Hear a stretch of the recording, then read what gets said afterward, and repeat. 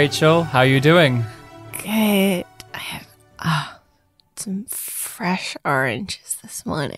Oh man, oranges. We're already kicking it off with the orange talk. We would make Sheridan proud, we would. How are you feeling overall, though? We're back in the world of Babylon 5 to talk about it, but how are you feeling? I already miss Sinclair. You already miss Sinclair?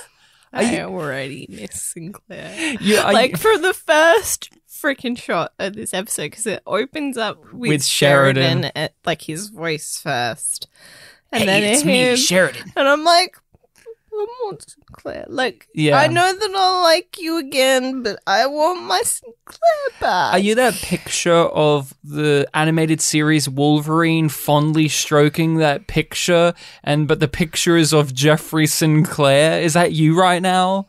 Because that's me. I'm doing actually very well. I'm feeling refreshed. I'm feeling rejuvenated and calm.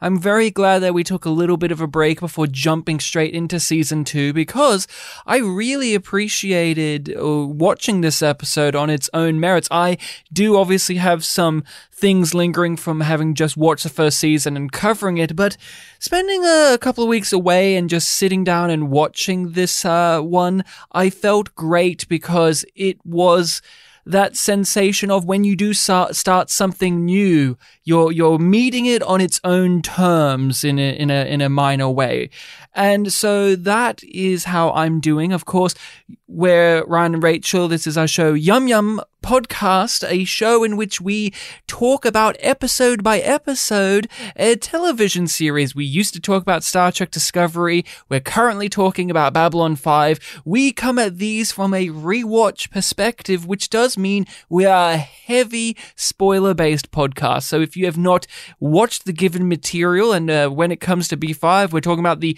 the entire thing, not just this particular episode, you are going to be bound to be spoiled. We heartily recommend that you watch this series. We both enjoy it very much. You have been warned. We are called Yum Yum Podcast because of what reason? Wait, Rachel, what reason? the turd that is Star Trek Discovery. I thought you were going to say the term from Star Trek Discovery, but no, no, the turd that is Star Trek Discovery. The Discovery. turd that is Star Trek Discovery. Shout out the line. I would say Yum. birthed. Maybe it's the poo that you have when you're giving birth. Why did you even bother asking me to do this bit if you clearly want to do it? No, no, no, because you know what's fun? I love the line and you hate the line. This is a line from Star Trek Discovery, Yum Yum, in which a character says that phrase out of nowhere, Rachel. Out of completely nowhere. In and response to murder. in response to murder, you love it and I hate it. See, now we've flipped the script around. See, every episode, you and I change on these type of things. You used to be anti YYE, which is yum yum energy, which is the next question. Who in this episode had yum yum energy? The energy of somebody who would say yum yum. And I'm going to ask the second question. You know, so often we merge these two together, but I'm going to separate this now who would have said yum yum in this episode. So, who has YYE and who actually would have said yum yum? Warren Keffer. For both? Yeah. Interesting. I To- think I think I'm gonna go with that. I I, I feel like um any member of the Trigati could have also uh, also bring some YYE and could Yep. have said yum yum. But who's your pick? Well, I actually have uh, a pick for each. So I agree that Warren Keffer would have said yum yum, especially during that final scene with him in it, where he's at the uh, their fancy new restaurant bar hangout. Officers Lounge? Earhart's, it's called. Uh, I think he would have said yum yum. But I have a random person. They don't have a name, but they sure left an impression of having YYE, which is a, in our way of saying what the fuck energy. There's this one actress that has to deliver simply a line of dialogue during Sheridan's speech. He I- interrupts it. I know the exact moment because I don't know what the fuck she was going for in that line I don't delivery. know either, but it- Nobody to me, it wasn't. It wasn't exactly YYE. No, no, it had- was like, like YYE to me needs to bring a level of sexiness and oh, sultriness. Oh, Now you agree to that. Again, flipping the script, you were anti sexiness in this. To me, she may not have had the sexy quality, but she sure did fuck with me because I thought that was a really well acted scene. And then she came along to deliver some lines to really remind us that not every cast member in Babylon 5 is at the same level as our leads. I'm sorry to bother you, sir, but I've got security on the link. They've got him Minbari demanding to speak to you. He won't say what it's about, only that it involves the safety of the station. He says it's absolutely urgent. Points of departure.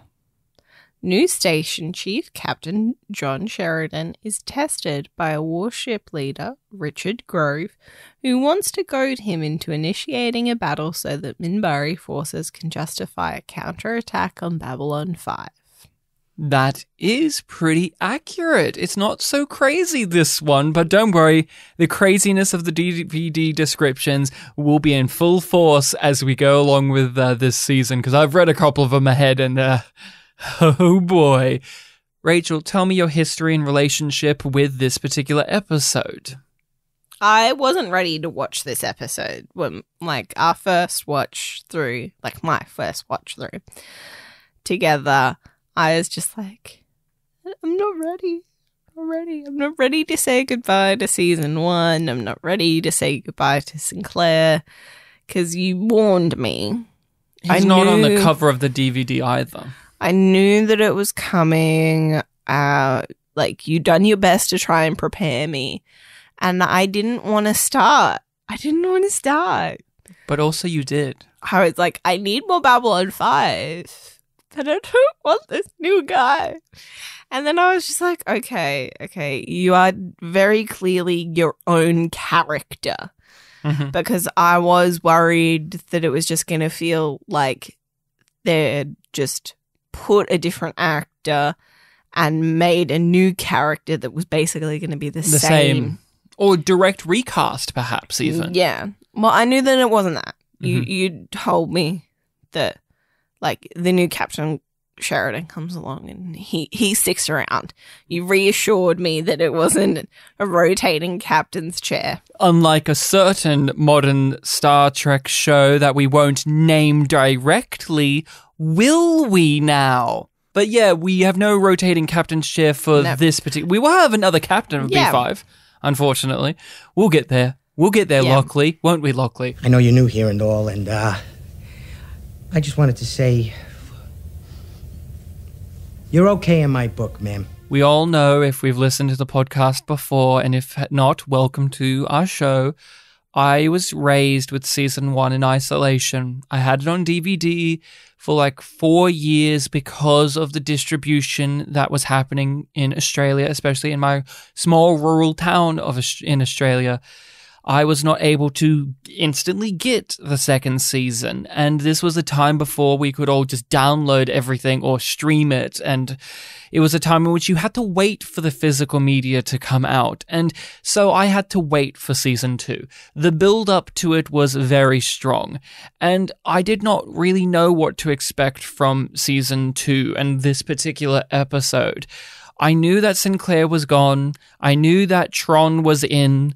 I like Tron, uh, the film, uh, to a minor extent. I like Bruce Boxleitner as an actor, so I did feel as if we were going to be in somewhat safe hands, but Whereas I still have never watched Tron. uh, or Tron Legacy. Uh, but I was, uh, I was so happy when my mother came home with that DVD. It was blue. The other one was red. It made me excited to know what the other colors would be for the DVDs to come. And she came home this with one it. was like the thinner set. Oh, it was uh, yeah. My first season one is a box set. Then the other ones, all the other ones are just the normal thin DVD cases, which annoys me so much. I'm just so aggravated by that. But I was so happy to get that DVD in my hands, open it up, see all of the images on the physical discs as well as the artwork and images on the case through the- itself, the, The booklet, booklet. with the upside down Minbari cruiser on it, which upset me greatly. And then I didn't even think when I put the DVD in about what the DVD menu was going to be like. The DVD menu is really different. It has this anim- it has the animation of this shooting ship and all of this stuff and the weird fucking morphs. The weird morphing effects on the DVD menu. Oh, they, They stick with stick. you. They stick with you. They haunt you. They haunt you very much. Seeing Talia morph into Kosh is one of the scariest fucking things I've ever seen in my life. But the absolute joy that I felt is almost unparalleled because it was a turning point in my adolescence. I finally got to be able to see this thing. I was just starting high school. It was a, a big time of change and the show reflected that. This episode is about change. It's about transition. It's about new beginnings. And it really helped me in that moment in my life. I was really happy. Of course, I was happy just to be able to watch more than season one.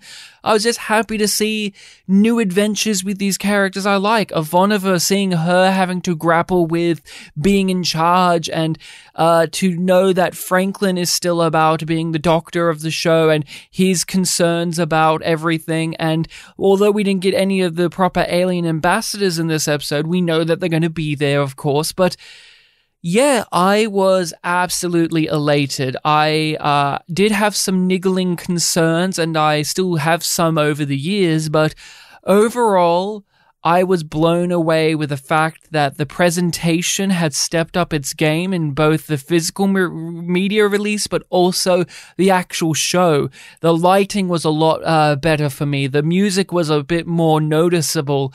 The acting, uh, very impressive. The writing on point. It was everything I wanted and more. I was not let down by this season premiere when I finally put it in that DVD player.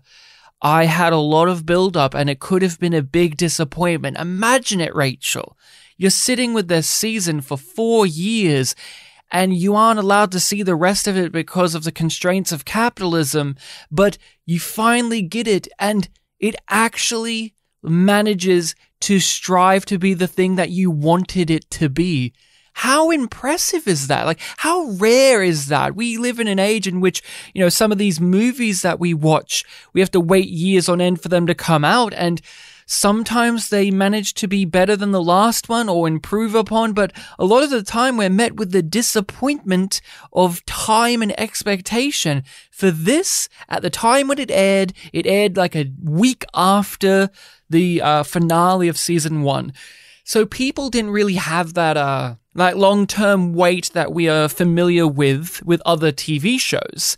People have often talked about Star Trek The Next Generation with the Best of Both Worlds cliffhanger. Of course, you and I were too young to experience uh, the anticipation of that, but this was my version of that where I had to wait years to find out what happened to Delenn, what is going to be the explanation for why Sinclair leaves, and all of these other things. So, I am very happy to be able to discuss this now, having watched Babylon 5 many a times, watched it many a times with you, to be able to actually sit down and tell people about that because not everyone has that experience, of course. Rarely do people have it. That is my journey with Babylon 5. It is a strange one, but it is one that has happened and it it it is a it is a major factor to my enjoyment of B5. Hmm. The uh, inability to watch it all in one go because you got to watch it all in pretty much one go. You didn't have to wait that long for episodes. And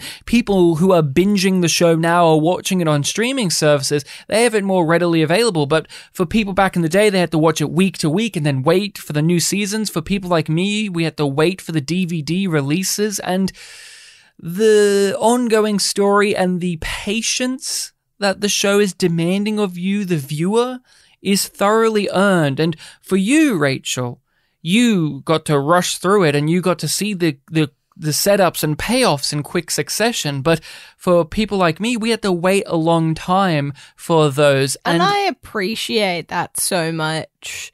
Not just because I am an impatient person, but I am a forgetful person.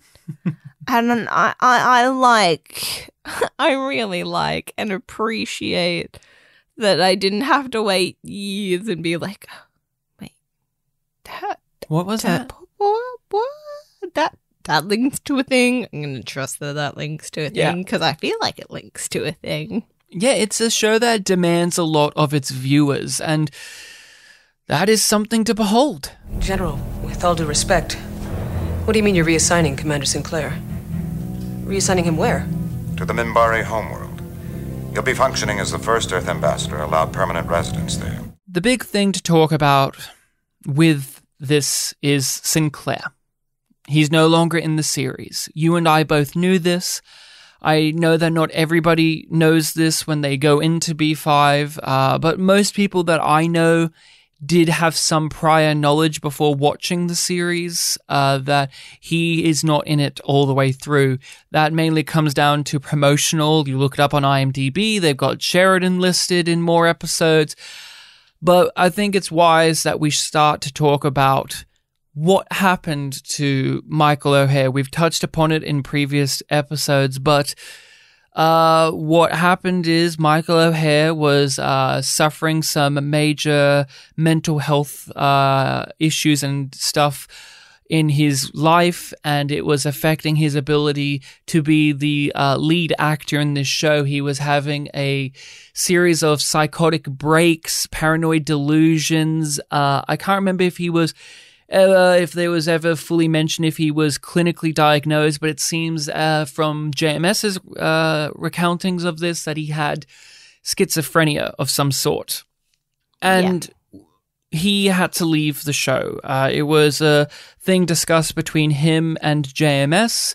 It was kept a secret to uh, keep his career alive, but also for The the reason for the departure. the reason, but oh, yes, the reason for the departure was kept uh, uh, private, and his mental health problems were kept private for the sake of keeping his career alive, but also just the general stigma involved, I would imagine as well. Uh, and we, the audience, did not know why Sinclair, why, why Michael O'Hare left Yeah, this There only was- came out after after O'Hare he had passed away, which was 2012. Uh, a little while after that, we found out, but he left, and we, the audience, did not know why. When you first watched this, you watched it when we still didn't know why. Uh, and it was always a point of contention. Why did he leave? No, I think that it was when it had just come out. So, when you found out that Michael O'Hare had been suffering like that, and that is the reason for why he had to step aside from this, how did you feel? And how does it make you feel about watching this particular episode, in which this episode is, for a large portion of it, saying Sher- uh, that Sheridan's now here and Sinclair is gone? How did that all Yeah. impact you? Like on the first watch, when I was uh, like becoming aware of it, I think that there was a level of ignorance for me about like what that condition really meant. Yeah. Um, so I was just like, but couldn't he have just done it? And now, like, obviously, I understand more, and I'm like, no, no, like, not, especially after listening to the JMS book and getting a better understanding of what O'Hare's experiences were. It was, it was, seems like it was very much the right and the best decision for everybody involved for him to walk away. But I'm still sad that he doesn't get to be here. And it always, it always takes me a while to warm up to Sheridan. Each Yeah. rewatch, I'm just like, but I want Sinclair. Yeah. And it's it's not just because Sinclair is what I'm used to. I really, really like the way that Sinclair gets to be a leader. a part of the stuff here with the Sinclair Sheridan Cross, uh, the transition is it's clunky and inelegant because they couldn't do it with Michael O'Hare. He just couldn't film these scenes. You couldn't write him a whole episode. And maybe also from a, a production and writing standpoint, it's just easier to start the new season with your new character to get everyone on board for this new character rather than spending the episode saying goodbye to the previous one. That is something too when it comes to creation. It is more effective to do that. But we understand logistically the reasons why you couldn't have Michael O'Hare to film these things, but Yeah. from a basic viewer perspective, new and old, rewatching or first time, it is mm-hmm. very awkward Yeah. that he is just gone and they never treat like they do talk about him, but they treat it in this But- way of that's over there Yeah. now. We're on the Sheridan train. Okay, everybody on the Sheridan train. Chug, chug, chug, choo, choo, choo. It's hands fucking down. This introduction and trying to like, you know, oh, acknowledge it the way that they do it. Hands fucking down. A thousand million times better Mhm. than what is done in another show. Do you want to take a guess at oh, I thought you were going to say in this show with Lockley and Ivanova. No, I wasn't even gonna go there. no, no. Matt Smith to Capaldi in Doctor Who. Well, that's a different beast It's entirely. a different. No, but like the transition very easily could have been done like that. A, a scene done hmm. being like, "Hey, it's okay." I'm Oh. moving on to good things. Like it's Yeah. okay for you to like the new guy. Yeah, if Michael O'Hare phoned in to tell us, the audience, that it's okay to like the new guy. No, no, that would have been clunky as well. But, if but like you get um like Ivanova gets a message from Sinclair being like, "Hey, I'm off to Minbar, but Hello. Hello, old friend. when I found out about O'Hare, uh, it broke my heart. Of course it did. It's a very sad story. And also, uh, it's a very motivating story as well, though. It's good to know that our lead actors, these actors, these people that we look at via Our their people. that we look at through their characters, we're reminded that they're humans. They're regular people. They suffer things. They have tragedies in their lives. They have issues that they have to go through. It humanized him because for a very long time, he was just Sinclair. I didn't know Michael O'Hare. I didn't know him from anything else. He was just that character. It reminded me that these actors are people, not their characters, which was, I definitely needed that kick up the butt at that time for, for Sinclair because I had a very uh, rough go of it with um, him leaving the series because we didn't know why. For the longest time, we didn't know why, and you start to draw your own conclusions as to why based on why other shows and other productions do these things. When I found out why he left, I felt like a fool. I felt bad. I felt guilty because for a period of time, I had assumed in my brain that he left because he didn't want to be in the show anymore. He left because he didn't like it, or he didn't want to be here, or he thought he was better than this material, or he got a better job elsewhere. Because other productions, I've seen that happen. Yeah. I felt so bad because of that. And then also I- another thing I felt bad about was I had the flip side where I got angry at JMS or angry at the producers or that because I also thought for a large period of time they got rid of Michael O'Hare to replace him with Bruce Boxleitner, the more famous actor, the more bankable star, the handsome guy who could get into the action scenes and the romance scenes and everything like that because I've seen that done in TV as well.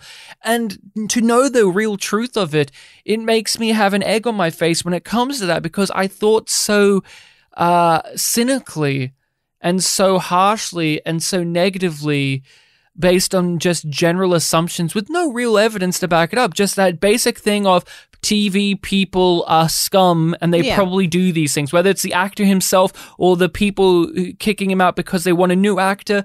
I was very cynical It's because you don't think that the real reason that people can leave is they have lives in Yeah. which things happen and it stops them from being able to do the job. Yeah, I find it interesting that that you bring up those points because another one that I was like, well, what if he just couldn't hack it? Like being a lead is a really stressful thing, and it was like it his influence and presence tapered off during the season. So I was like, well, maybe like as an actor, he was just like, nah, being a lead's not for me. I can't hack it. It's not what I want. Yeah. And I felt really guilty about having that thought because in a weird way, like he, he couldn't do it. Yeah. But I was I thought that it was just like a failure as him as a person, but it was a consequence of a health issue that he had. because people need to know that there's a problem in their family. If, it, if, it, if this can happen to a, an actor, a star of a show, a commander of a station, it can happen to anyone, and it's not a scandalous thing. It can be dealt with. So if anything ever happens to me, I want you to be free to talk about this. Sheridan's new character. What did you think of him when you first started this? What was your overall impressions of this performance, this character, our new commanding captain man? What did you think? I remember being like, where the fuck is this? it opens up with all of these establishing shots of like these different consoles, and I was like, this isn't a set we've seen before. And I was like, oh, where on Babylon 5 is this? And then, like, Sheridan starts speaking, and then it says the name of the ship, and it's like, oh, we're on another ship? Why are we on another ship? I don't like this. I want to be on Babylon 5. I'm watching Babylon 5. I want Babylon 5. so it immediately like got me off kilter with that. And then like I came around to it. I was just like, okay, I know that he's going to be here for a while. And I have to accept it and move on. But what did you think of his character? That was that was the whole point. Like, what do you think of Sher- What did you think of Sheridan though? When As a person. yeah, as a character. I was trying to communicate that I didn't think about him as a person. I didn't look at his traits. I was too busy being like, you're not Sinclair. I didn't I didn't get that. On the first watch, I was just like, it's not Sinclair. So did this episode? It's not Sinclair. Why the fuck is he dreaming about oranges so this episode failed. and fruit? So this episode failed at its goal. Its goal is to get you on board for Sheridan, and you could not get on board straight off the bat. Nah. How long did it take you, do you think? How long did it take you to be on the Sheridan bandwagon? I think it was at least three episodes. Interesting. This is where I have to come in and uh, lay my cards out on the table. I hated Sheridan. I hated him. Not because of his character, not because of the acting, but because of what I said just a moment ago. I had assumed the worst. I had seen this before. I grew up with the Eccleston era of Doctor Who, in which we didn't really know why Eccleston left. We still kind of don't fully know why he left, but there was an amazing character and actor there, randomly disappeared, and then they're replaced with the young, handsome, pretty boy who can get into the romance plots. And I hate that. It's very cynical. I don't like that type of uh, TV no thing. I don't like that. And I've seen that uh, many a times in the course of watching things. And I just assumed that. I saw, oh, he's Bruce Boxleitner, the bigger name. He's the handsome guy. They're trying to make me like him. They're doing all of these overt tricks to make me uh, feel something for him. And I rejected that so hard. Just like I did with David Tennant as Doctor Who. It take it took me a while to warm up to Tennant because as a 12 year old or a 13 year old, I saw that and said, oh, they're trying to play me. They're trying to get me on board for the typical uh, handsome guy leading man dude with Sheridan. Oh, he's a badass. He's a star killer. I I thought it was so manipulative, and I could not get on board with him for a little while either. I was very uh, against him, not because of the actual writing, not because of the actual character, but because of my perceived reason as to why this exists in the first place. Now, obviously, that has changed. I like Sheridan. I think he's very charismatic. I think Bruce Boxlight uh, does an amazing job in this episode. He's a dork. He really gives you that feeling like he's a military Yeah. guy. He gives you a feeling that he has been in military combat situations. He lives and breathes his character, but I, now, not on board for Sheridan to begin with. I was very angry. I was there for everybody else. But he was a character I just could not fathom. I just didn't want to give time to. Of course, I knew I had to. He's the lead and he's going to be in the show, but it took me a little while, like you, maybe three or four episodes. I can't remember exactly when he snapped into place for me, but eventually he did. But when I was rewatching this today, I was noting down what they were doing with Sheridan, and I do think there are some blatant tricks of the Oh, trade yeah. of getting you to like him. Obviously, some blatant exposition dumps, like letting us know who his dad was and that he's a man of the world and he has these military experiences and he's Star Killer. But all of that fades and strips away because of Boxleitner's performance. As I say, he It lives. blends. He, He lives blends this it. character. He mm-hmm. is this character. He lives and breathes it. He is so natural. He instantly has chemistry with everybody. Everybody. He's walking up to them and he has He instant tries chemistry. to have chemistry with the cocoon. Yeah, he even tries to fuck the cocoon. Yeah, you're right. And Ambassador Delenn is indisposed at the moment. Perhaps you would come back later. Much later. Yeah, he his background is interesting because he's the opposite of Sinclair. The Minbari hate him. He destroyed a Minbari uh, ship, one of their their flagship. He's And unwelcomed. cruises. Yeah, he's unwelcomed by the alien community, but he's fully embraced by the uh, humanity, which is the opposite of Sinclair. Sinclair was welcomed by the alien community far more than Earth, and that's a great flip. But I, I, I really liked in this episode that they touched upon, and it was good to do this because it humanizes him. His insecurities as a character, because he's very competent. He shows himself to be the smart guy who figures out the solution at the end of the day. We talk about this with Star Trek Discovery, where Michael Burnham's the hero hero, where they're clever and they're better than everybody else. And that becomes boring because there's nothing else to it. Sinclair, Sheridan, sorry, in this one, he has that tendency, but they keep throwing in all of these uh, failings and nuances and uh, weaknesses and insecurities of his character. I really like the conversation at the end where he questions if Sinclair was here. Would this have happened? Would these people have fired? Would they have died? And he has to have Ivanova to help him guide through that uh, anguish. And it works. It works as you, the audience, are questioning if this guy is going to be better than Sinclair as well. It works on that uh, level, but on on the basic uh, front of having your main character now be here and they're perfect. They're the guy who's killed him Minbari ship before. They're the president's number one man.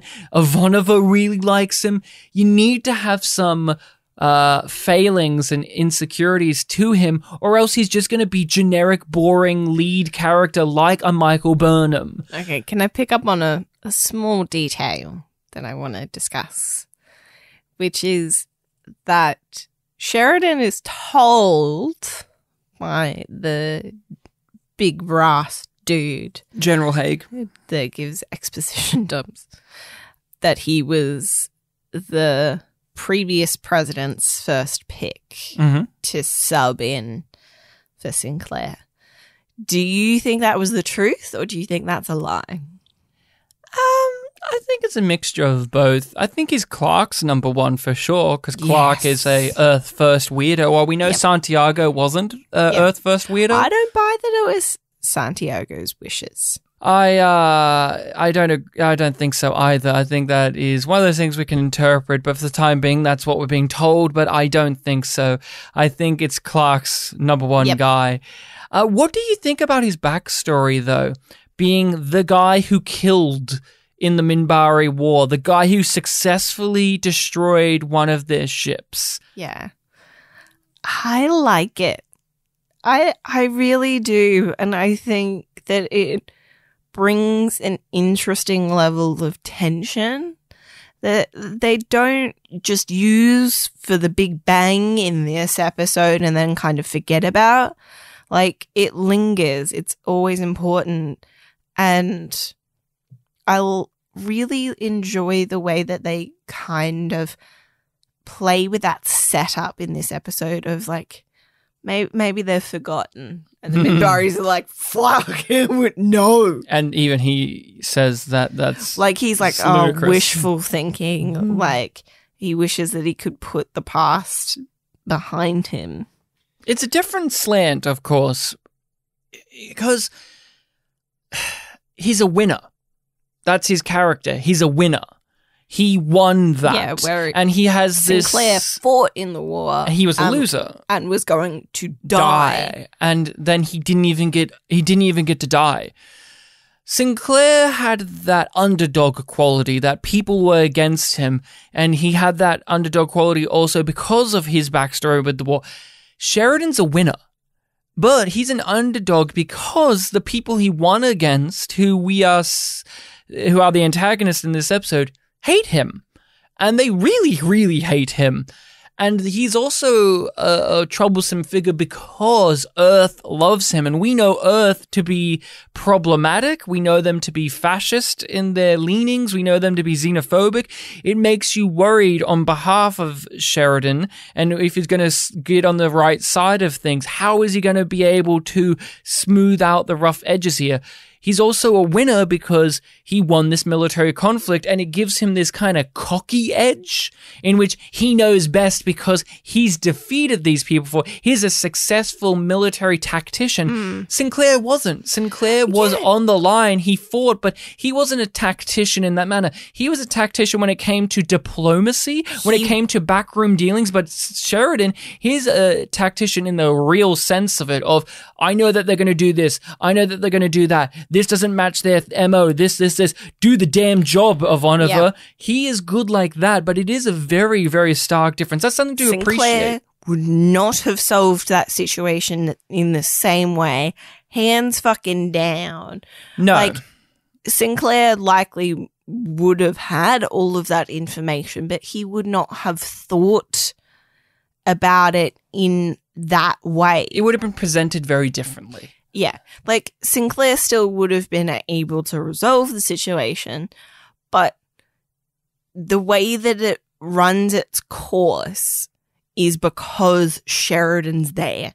It doesn't feel like it was a Sinclair episode that they changed The names around, yeah, yeah. it's like it matters that it's Sheridan. It matters that we have the information that we do, and it's at this stage, and that all of these things are happening, and it's reassuring to me that that's the case because Yeah. it's it's not like the show has fallen apart without Sinclair. It's not that the writing is failing or it feels haphazard the show still feels strong. And the things that I like about the show are still here. So even from like that first watch, I did trust that I would come to like Sinclair. Sheridan. Sheridan. You you can't. We're going to be like that for a little while, people. The ser- that's the problem with you name your characters Jeffrey Sinclair and John Sheridan. We get it, JMS. You want to be in the show. We get it. We get it. Author insert here. Fair enough. But you're gonna. It fucks with us talking about it for the first few episodes. written episode. Oh yeah, the first like three or four are. I also think it's good that uh, we see his thinking in this episode because it is the episode. uh, The plot exists, right? The plot is evil Minbari uh, itching for war. It's well done. The pacing's good. It's focusing on that, but that's a structural point for what is the real purpose of the episode, which initially failed for you, which is letting us know who Sheridan is, what he's about, whether it's his actual details of his history, but more importantly, what's his ideology, what's his uh, uh, attitudes, what's his characteristics, what's his type of what's his type of leadership, what's his type of thinking, and that's very important here because, well, as we say, Sinclair would have dealt with it differently. They talk about Yeah. that, but to see how Sheridan dealt with it, uh, obviously, it's going to test you on if you're going to be on board for his more traditional sci-fi sci-fi lead uh, approach to things and uh, we're, we're early days but uh, when i think of sheridan i think of him as the typical lead Yeah. And sinclair Far more typical than Sinclair. and far more typical than Sinclair. And uh, that does have nev- negative connotations when I say far more typical, but he is, uh, as we say, he's very well done, uh, Sheridan, anyway, in spite of all of that. I haven't had an orange in almost two years. I used to dream about them. Grapes, nectarines, plums, the black ones, not the red ones. I mean, it's amazing what two years on the rim can do to you. I have a hunch I'll be spending a lot of time in hydroponics. New things are here. Let's talk about some of them. Obviously, we have some uh, new things like uh, Sheridan, as we've mentioned. Warren Keffer is here. I have nothing more to say about him. Studio him. note the character, as we will network likely. note interference the character he's here we can't have anything to say about him other than he appeared we'll get to Keffer when he he appears has a bit of a whinge. He has a little whinge he has a holographic girlfriend he's here uh what did you think about the music It was bold. At certain points, I liked it, and other points, I was like, "This feels a bit too heavy." But overall, I thought it was good. What about you? I loved the music in this episode a lot, actually. There were some cheesy moments that I really love the music playing during the scene in which Sheridan is getting absolutely fucking blasted into space by that one Grey Council member guy who is just fucking chewing his ass out Ah. for being the star killer man who's brought all of these issues here. The music, the direction, the the, the tension in that scene was Ah, truly yeah. palpable. I was so glad to see so layered. I was so glad to see four words appear on the screen. Directed by Janet Greek. I was knew we were going, to be in good hands when I saw that because she's a fantastic director for Babylon 5 and the perfect person to kick off the new season. She has a flair for direction. She is really good at shot compositions. Uh, overall, when we have an episode that's in her hands, the editing is tight. Uh, the, the, the, the acting is really well done. Uh, some of the other changes, I really like the lighting. The lighting is far more vibrant. It's far more uh, bright How and colorful. come since the gathering. Oh, Richard Compton must be spewing about how they gave it good lighting. He's just like, oh, I wanted it to be bad lighting the whole time, guys. Ooh, you can see things. Uh, it was great to see some spaceship battles. I really like the detail that the Trigati had a faded look to it because it's been in space for so long. It hasn't had a fresh coat of paint in a while, which was, and it's an older ship, so I thought that was a neat detail. But we have to talk about the opening credits. What do you think of them? I accept the change. I I think that Sinclair's version of the monologue over the opening credits is my favorite, but I, I like it overall. I'm like, yeah, I, I appreciate that they change it each season, and I enjoy the little alterations that they make along the way. Oh wow! I'm so sorry, but this is this this season two opening credits.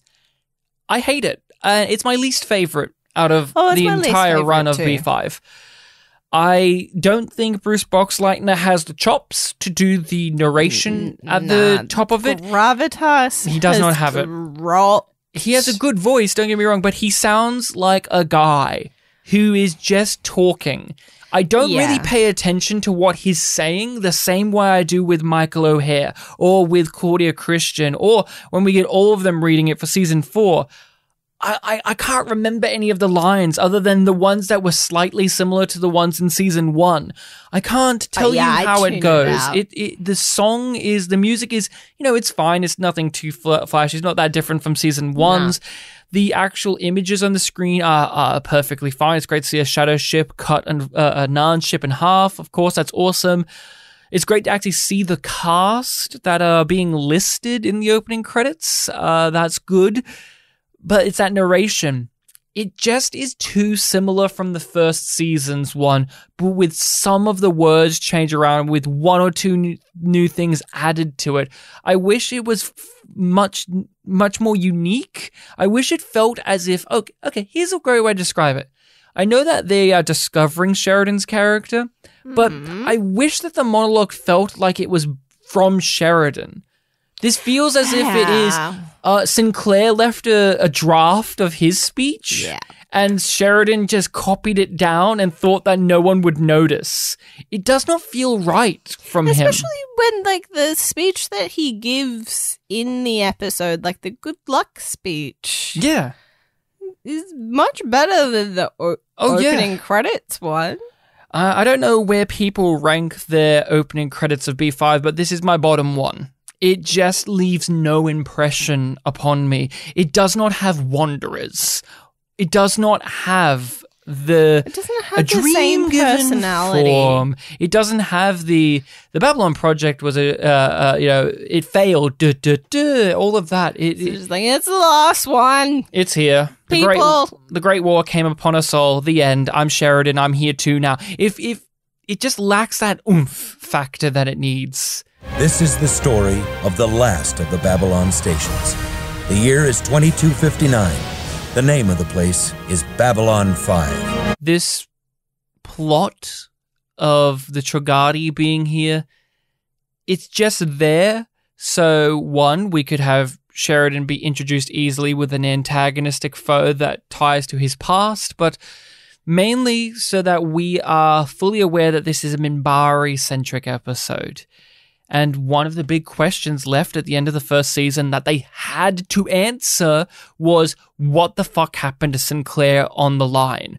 Why did they take him? Why did they surrender at the Battle of the Line when they were winning? That had to be answered. It was a hanging thread at the end of this first season, and they answer it here. Walk me through your process with this of what it was like when you first saw it and how do you feel about it now? How has it digested over the years? I remember feeling sorry that Lennier got burdened with this dump. Like the exposition dump that is that scene that he has to deliver. And I've grown to appreciate Lennier in general more. And also in this scene, I was just like, he he's really trying to like balance it and give it a cadence to it that matches who Lennier is in his position at the moment. Yeah, Bill Mumy's so much more confident in this role. Yeah. I was also just distracted by the the what what when having it explained because like we know that they have this idea of the soul. It's been set up. It's been set up. It's being paid off, and it will continue to be relevant. But I was just like, they're so advanced, and they they think this. I keep saying I hate I hated lots of things, even though I went on this long diatribe about how happy I was that I got to watch this. I've talked about this before. When I heard the reason why they surrendered, the reason why they did all of this was they believe that human souls are in fact Minbari souls. I fucking lost it. I was so angry. I scoffed. I thought, this is stupid. What are you talking about? You're going to win a war? And you just stopped because I believe our souls are in their body. Because Minbari don't kill Minbari. Minbari don't kill Minbari because that's what Valen has bestowed upon them. And later we find out Valen is fucking Sinclair. So Sinclair told them not to kill each other so they wouldn't kill humanity And they when they were on the verge him. of winning and wouldn't kill him and everything ties into it. That's brilliant. But when I was watching it that first time and I'm sitting there going, what's the answer? That's Fucking bullshit. that's the answer. That's aggravating. And it all ties up. Like, I understood. Oh, they've set this up. Oh, that makes sense.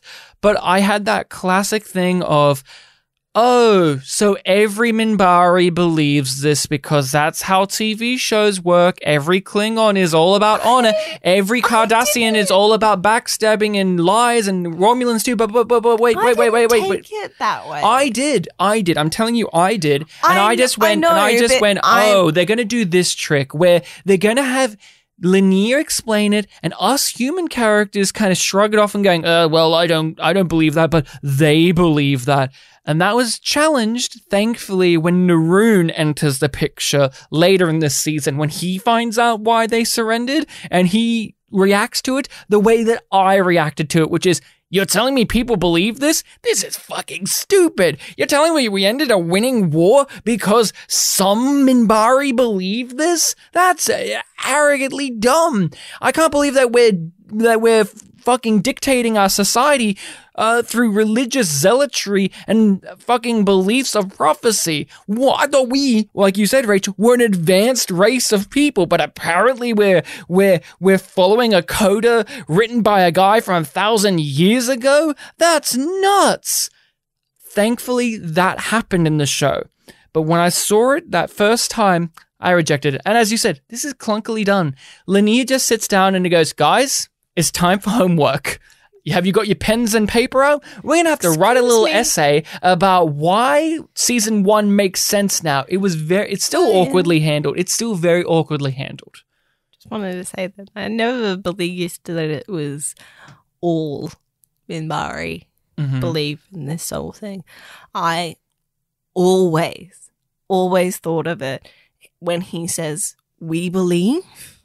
It was the spiritual caste. Yeah, but then in the episode, they question of, oh, well, these warriors haven't been told about the soul. If they were told, then Oh, maybe no, they wouldn't I be doing that. I think that they know they know about the idea. I don't think it's a secret idea, but I I think all Minbari know about this. I don't. And I Because Neroon doesn't. no Neroon Neroon doesn't know Why they quit the war. why they quit the war, but I think he knows about the idea of the souls being generational. Oh, yeah, yeah, That's yeah, what yeah. I'm referring to. And I think that it's mainly the spiritual caste that believe in that idea of the generational souls. And that's partially why they re- they're able to relinquish that and stop this as a Mhm. holy war, Yeah. which Lennier also reminds us of. Yeah, yeah, I, I understand that completely. But my experience with science fiction is, even though this uh, these people have been their caste system exists, I just looked at it the typical way of oh they all think one way because that's convenient for the plot. And this episode minorly backed that up in some ways and minorly fought it in others. And I did not like this explanation. I did not believe in it. And thankfully, as the series goes along, they start to deconstruct it. They start to question it. They start to have an actual exploration of what that means. And that is why I like it now. But if this was the end of it, if this Oh, was yeah. the, oh, we just believe you have souls and then, Oh, and then, and then everyone goes, oh, well, I guess they, they believe that. They believe that. And then, that would be it. Fuck it. But they don't do that. JMS is a guy who questions everything within his Unpacks scripts. He unpacks it. He has people like Neroon doubt it and question the validity of it. That's what makes it work. Unfortunately, it doesn't work in this episode because it is just so out of left field. Why does Sheridan need to know this? Because we, the audience, need to know. That's the real explanation great for why. council member told Lennier to do this. Why Lennier? Because he's one of the remaining cast members that can tell it. Because Delenn's in a cocoon, indisposed. and we can't wait that long for Delenn to do it because it would be too long of a wait for the audience. It And wouldn't make sense to have this in a couple of episodes' time. Yeah, and so we have to wipe the slate clean. We have to reset the board. That mystery's done now. Now let's get on board for everything else. It's always been awkward and it's always been ham-fisted and shoved in there for me. Even though I like it in the grand scheme of things of what the answer is, You like Just what Lin- it does, not what it is. the execution's what it becomes. the execution sloppy. Lennier talking to the chrysalis out loud, saying to us, the audience, that he told them the truth but not everything. It's it's hackneyed. It's very trite. Because we already it makes me rolls my got eyes that point when um when the Kalain and yeah is like the Grey Council never tells everybody the whole truth. You got it. You like, got it. That was it. That's all you that needed. was it. That That's was all you fine. needed. Maybe some minor hints that Lennier's still And, uh, holding some stuff. Also, but like the conversation that the Grey Council guy has with Lennier, where it's just like, we told her that prophecy would attend to itself, that it would work out. yeah, But then we have that extra heavy drop, and it's just like, what? You're burdening Lennier. yeah, yeah. He no longer feels like and a I'm like, you deserve better, Lennier. He no longer feels like a character, but a dispenser of information. When you play Yeah. a video game, when you play a video game, you know how you can just press that button to skip through the dialogue options? That's what I felt like when he was talking. It was like, oh, cool, cool, cool. I'm mindly skimming through because it feels so artificial. It feels so detached. It feels as if I am just reading a Wikipedia entry Yeah. rather than naturally being dispensed the information. Yeah. It is just, hello, I am Lennier and I'm sitting down now to give you this link. You know, you wait, you know Mm. it's gonna be artificial when a character has to sit down to tell you. Because it's literally, let's sit down and unpack the plot. It has been our secret. Now it is yours. It must be kept Then why break the silence now? I mean, why tell us? because changes are coming. This episode can't just be a good episode. It has to be a whole plethora of other things. It There's has to be a, lot season premiere on it. It has to be a season premiere. It has to introduce new characters, new plot lines, new viewers to the show. It has to recap things. It has to set up these things. It can't afford the luxury of being just an episode where we can talk nitty gritty about the plot details because when you do, they're serviceable. They're done much better than they were in season one, but there's no real uh, surprisingly deep, nuanced layers to No. discuss. Like, we could talk about the Trigati the guy who kills himself and Kalain and uh, the Minbari The blue pol- goo in the tea. the Minbari, the Minbari uh, politics and culture. We can talk about all that, but really, when you think of points of departure, it is a somewhat forgettable episode. But what it lives to breathe, like what it lives as, is all of those other Yeah. facets of the production of the nature of the beast of being the introduction of this character being a season premiere introducing new viewers to this world setting all of these things up paying off all of these things and that's what it is Yeah, it's It- serviceable. it's not one that when we look back on this season, I'm going to instantly snap my fingers and go, oh, points of departure. That was a great episode. It is an episode that is here and it does its job very, very well. But that is the thing. It does its job rather than I was in a story. Yeah. That is my biggest issue with it is I never felt as if I, like you, was bought in. All I felt was, oh, that's clever. That's clever. Oh, that's how they're going to do this thing. And oh, that's how they're doing that thing. And oh, they're setting up this thing. I never, I never engaged with the actual plot or story happening. It was all about the overt mechanical things to get the rest of the season into gear Yeah. But it isn't uh, a thrilling episode in the way that others will be. It's thrilling in its minor ways of Sheridan figuring out things is thrilling, and of one of his quips, as we mentioned, and I love the way that like everybody in CNC like you get this sense that everybody is doubting Sheridan when he's like don't shoot. Cuz everybody's like what what the fuck? What the fuck are you doing? Like, you're in charge in this command order, but like, what the fuck? I don't want mm. those people to die. Thank Ke- you very much. not Keffer, not Keffer. Oh, We don't want Keffer to die, guys. Not especially not in space, getting shot at by an ancient foe. We don't want that. No, We no. all love Keffer. I hope he comes back. Ke- Can't wait to see him in the next episode. Keffer has a special place in our hearts. And and, and bowels.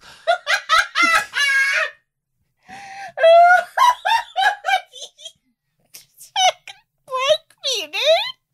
You fucking broke me. You hear that, Keffer? You hear what you did to my wife? She's she's my wife, Keffer. You can't just break her on the pod like that. In front of everyone. It's not appropriate, Keffer. You've got a girlfriend of your own back home waiting for you. It's getting so a man can't even enjoy a letter from home anymore. So, the actor that we have selected for this week's spotlight is Richard Grove. So, to explain the spotlight section, we are looking at an actor that appeared in an episode of Babylon 5, talking about their performance, what we've seen them in, any interesting trivia facts, so on and so forth. And as you said, we're looking at Richard Grove, who played Cal Kalain. Kalain. Kalain. Kalain. He played Kalain. Kalain. You know that he played Kalain because there was the Grey Council member guy played by Robin Sachs who said it a bunch. Kalain! Kalain! Kalain! Like, they said it too much, so I was just like, oh yeah, that person. Kalain? I just think of him as the captain. I think of him as the Minbari with the chin strap beard. Yeah, that too. That that that is good. So I want, I want Okay. to touch base. Minbari beards, what do you think? You've I been li- pro beards before with Minbari? I'm anti beard. I'm pro beard still. One day I'll change your mind by just re- reminding you that they have no body hair. That's the whole point of why Delenn transforming is magical because she grows hair. Them having beards is weird. He has a good beard. so Okay, fair enough. So tell us about Richard Grove. Okay, so you want to talk him about about him as a person first, or his performance? Okay, let's talk about his performance. What do you think? I, I liked it. I love his performance. Okay, You good. know what I, wanted really to make sure about if we were going to Mm. be antagonistic before I really dove into it, Mm-mm. but I really appreciate the type of theatrical elements that he brings up and through that performance because it makes me really buy that he's managed to lead his crew through like over Exile. 10 years of exile and like just kind of being in space or hyperspace and just being like out there and fucking with shit. And then they've gotten to this point where it's like, what the We can't just keep going Yeah. because I do get that sense that like this was being planned for a long time. It, it's not just a, oh, Sheridan's there. This is, oh, we can do this and this and this and this. It's just like, no, this has been their exit strategy or an idea for an exit strategy for a while. And then Sheridan really gave them the oomph to go through with it. Yeah. And I really enjoy the way that he brings that gravitas and like that. He has that posture Mm. of, I am taking up space. He's a big and guy. I am worthy of this space, both physically, metaphysically, and Mm. intellectually. And he brings all of that with a dignity to it, not a Mm. burden. I like how he stands out as a Minbari. Yeah. He's not Neroon. I love He's his not- little like um His little claws. Wolverine claws. I like that he has a personality that stands out on its own. He's not Neroon. He's not the guy from the Grey Council. He's not like Delenn. A thing that I really noted down about his performance is he is an actor playing a Minbari Yeah. who's acting. Mm-hmm. because one of the things I really love about him is he's got this off kilter energy because he is pretending he's had, he's got a plan and he's, and he's playing it out, but the character is a non-committed actor. Yeah. So what I mean by that is when you watch a show like this, like say for instance Infection, where we have the evil doctor played by Yeah. Ducky, and we know he's obviously evil, and it's. From so obvious. start. And because his character is supposed to be playing to Franklin's uh, more sympathetic side, to us it's blatant. But it's weird that it isn't blatant to the characters in Yeah. the show. Here, it is blatant to everybody because Mm-hmm. he is not even trying, but he is minorly trying. The way that he waits for them to come get him, his line deliveries, it is a guy playing out his plan, but he's not a great actor like the character. The character Yeah. is non committed to playing the bit in the fullest of ways because when we watch these shows, Star Trek, Babylon 5, Battlestar Galactica, Stargate, you have these antagonists where it's so blatant that they're pretending Yeah. so that they have a plan. And usually the narrative goes in backward stretches to make sure that our main characters don't figure it out straight away. Here, Sheridan figures it out straight away, and I commend Richard Grove's performance within a performance here. He has this real blase attitude Yeah. of just when he's talking to the Grey Council member, that's the real Kalain. Yeah. That's the real one. But when he's talking to Sheridan and when he's talking to Lennier, it's him putting Yeah. on a performance so that way they can capture him and then he can kill himself. Oh, I, I love that. I love it. It's layers here. I adored his performance in the suicide scene Mm, mm. because he doesn't have any dialogue. It's just like him being silent and the music, just a still cl- close up. Like it's it's Mhm. not it's not a very close up close up, but it's not quite a mid shot. Yeah, yeah. It's framed so it's like him at the table and like getting that tooth out Mm. and the he just commits to yeah, it. The, yeah, the the the acceptance in like pardon the pun, but he's like, I, I just have to, I have to swallow this. I have Mhm. to suck it up. This is my plan. This is my plan. I'm following through on the plan. But like as We he will loo- win. like looks at the liquid, you are reading his face and going like he's resigned Yeah. to this. And This it- is last option. Like the next level up because you get you don't get that nuance, which I think that you could have with the second in command when she comes over the comms. Like you hear those ideas being echoed in what what she's saying, but her as a performer She's serviceable. didn't bring it the, The way, way- that Richard Grove did. Yeah. And it's like it's very interesting to compare those two performances because Richard Grove is really fully inhabiting Mm. that character Yeah. in a way that we love. We love seeing guest performers do that. And w- even when it's just like, we don't, we don't agree with your decisions, but you had convictions, we appreciate it then. Yeah. But he hits it out of the park. We have supporters even among the council. They tell us that Sinclair is now on our world. He is an ambassador. So you say. But the Grey Council never tells anyone the whole truth, does it? like he has as an actor a background in theater and he's done a fair bit of sci-fi Mm-hmm.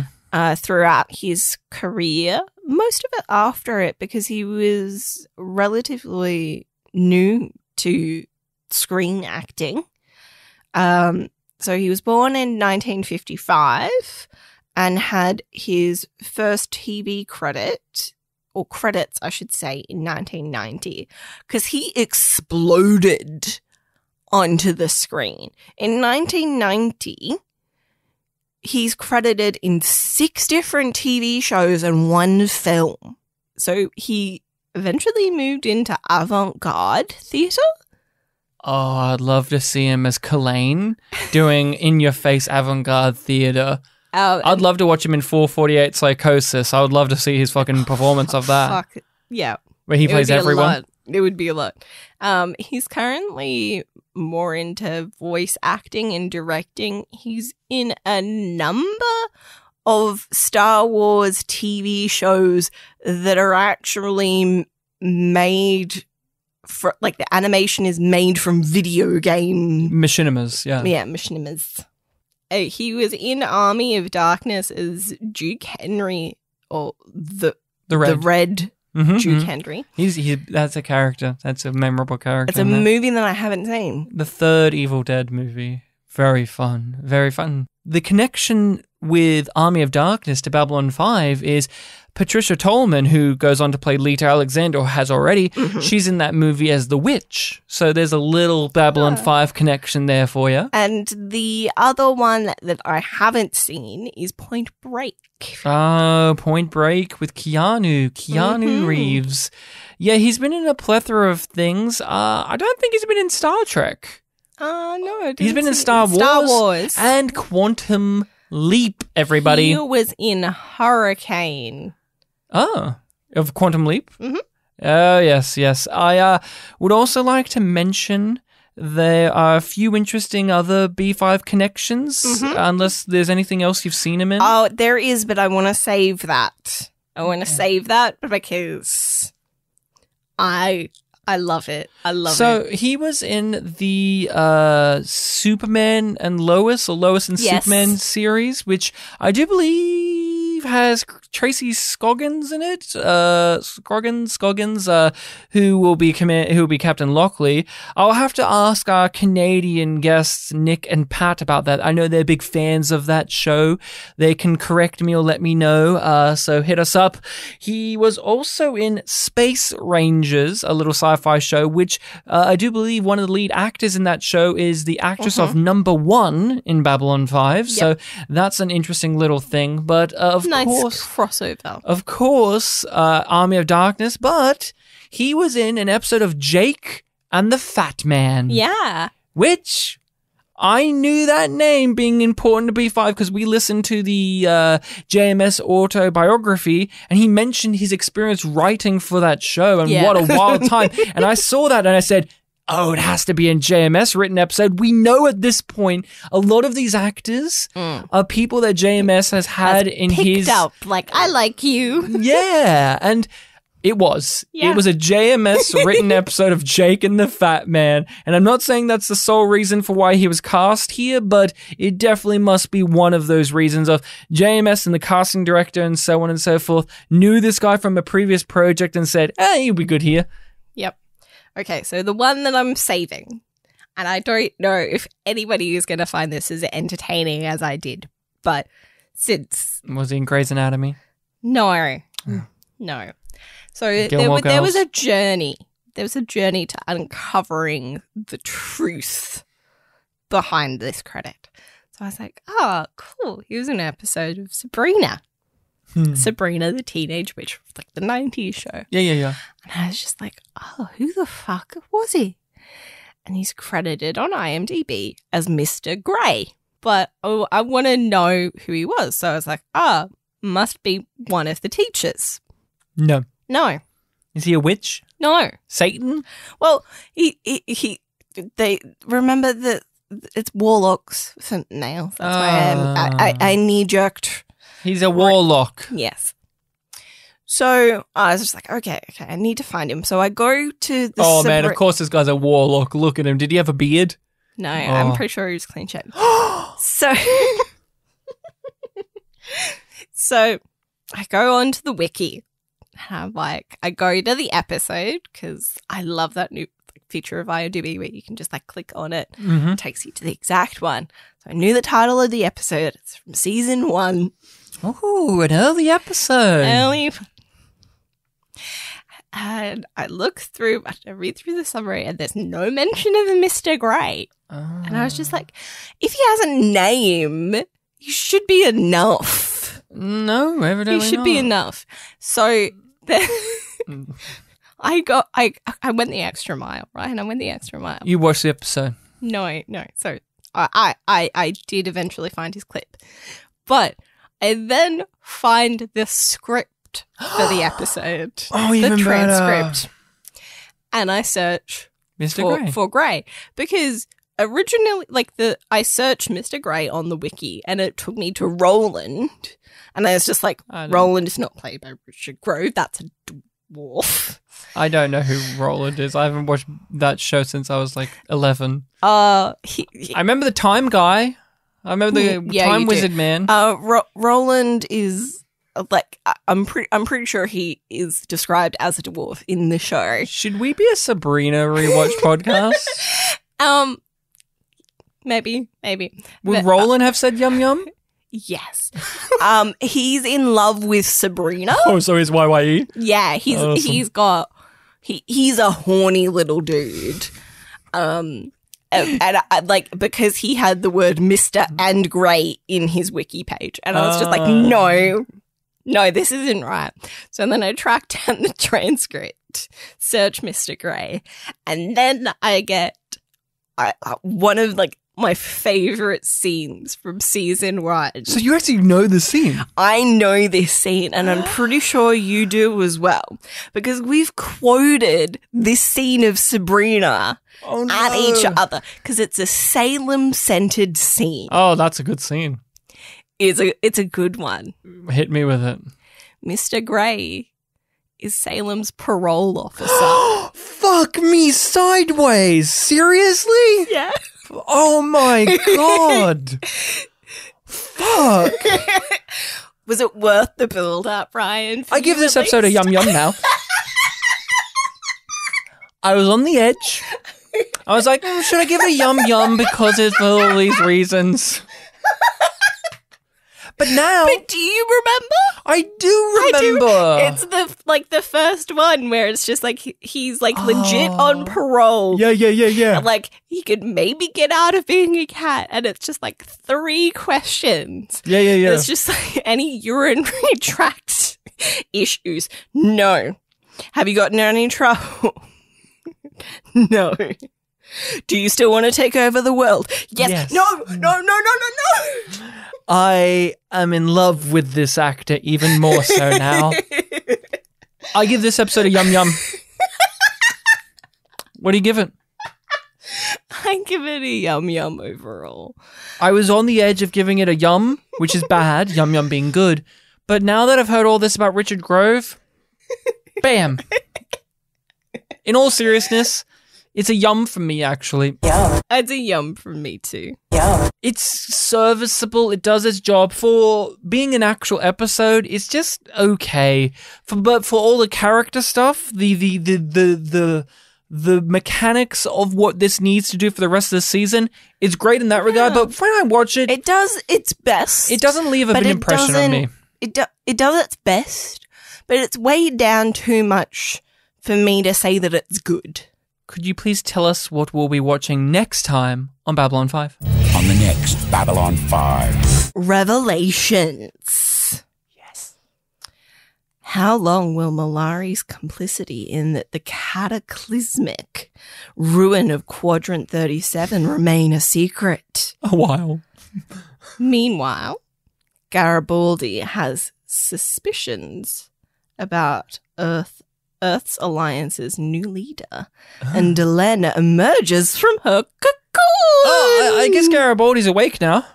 Yeah, they don't. The description kind of ruins that. It's like, oh, and he's got suspicions. Oh, you mean he's alive and awake now? I wonder what happened there.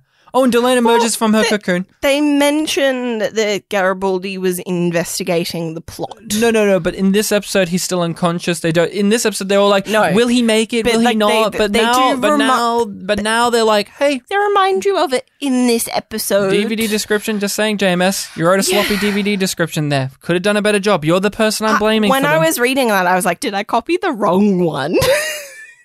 well, but I'm I was like, looking- no. Delenn emerges from her cocoon next episode. Yeah. I'm certain that that's She- episode she, two. She has hair.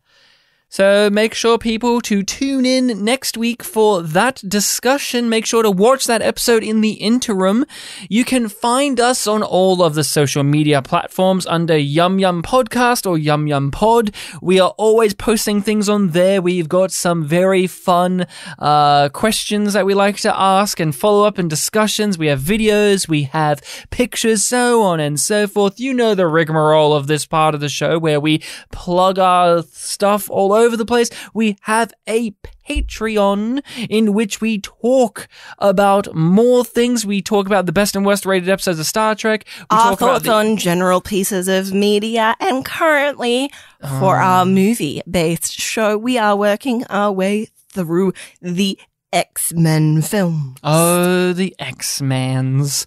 So come join us on the Patreon. We have a Give us your Sabrina hot takes on our Discord. Oh, yes. You can be a part of a group Discord if you join our Patreon. We have the different tiers for different benefits. It is a wicked time. Make your um, voice known by also emailing us at yumyumpod at gmail.com. Email us with your questions, queries, thoughts, concerns, and whatever else you feel. It is greatly appreciated too if you rate and review us on whatever podcast hosting site you use. I hear that uh, at the end of last year, start of this year, uh, Spotify allows you to give a rating on it as well. So if you are listening to us on there, give us a rating there. And if you're listening on other ones, give us a rating and review if you can on those. It is very much something we would like. It makes me feel good. Yum That's- yums, please. We know, Mhm. uh, much to Ryan's chagrin,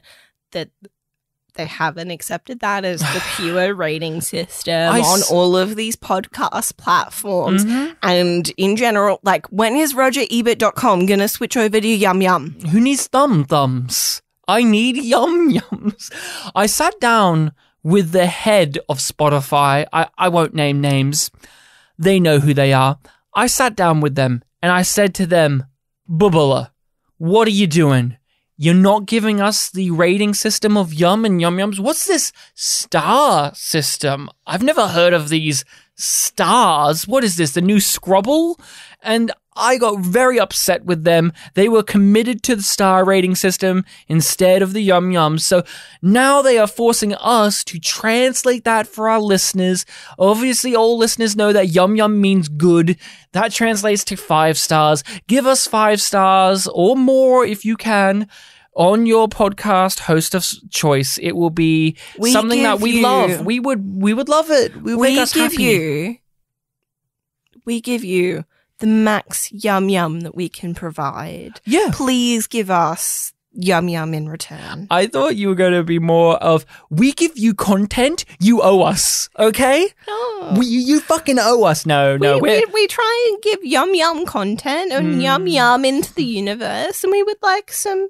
yeah. We we we we get yum yum in return. we won't overtly say that you owe us it. We'll just implicitly put it down that you owe us a good rating. But enough about ratings. Rachel, it is a pleasure to be back on Babylon 5. It is a pleasure to see all of these characters again and great to be back in the room talking to you again, making you laugh, Okay. making myself giggle and also just dissecting the material. Mhm. Good evening to you, Ryan. Ah, G'Kar wasn't here to say it, but I'm here to say it to you back.